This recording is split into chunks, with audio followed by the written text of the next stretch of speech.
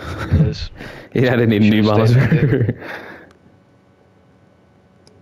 If you were